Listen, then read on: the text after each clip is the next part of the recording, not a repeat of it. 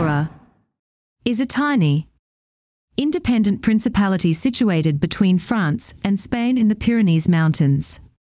It's known for its ski resorts and a tax haven status that encourages duty-free shopping.